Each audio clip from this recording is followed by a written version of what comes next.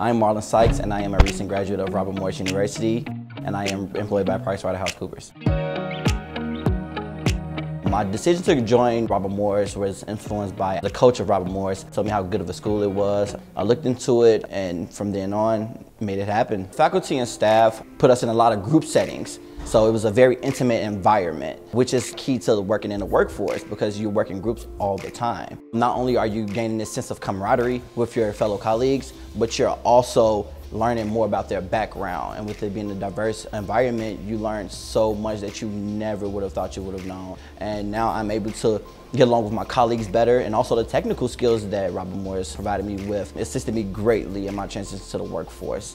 I'm Natasha Granholm, RMU grad and a partner at PricewaterhouseCoopers. I would not be a partner at PricewaterhouseCoopers if it were not for Robert Morris University. There were a couple things about RMU that I really appreciated and enjoyed. It was really fun. I played soccer. I made really great friends. I think back on those days and just think very fondly of the times that I shared with all those women at the time. The class size was small, which I liked. There was you know, a lot of opportunity to interact directly with the professors. Uh, we did a lot of small groups. I got to know the other students in my classes really well, so we got to build some meaningful relationships. I have the privilege as a partner now to go back and give back to RMU and the students and give them an opportunity to get access to you know, what I think is the best accounting firm in the world. If you are the type of student that wants to be around a diverse population of students, RMU is for you. You like the hustle and bustle of the city, you like getting exposure to some big companies, then RMU is for you.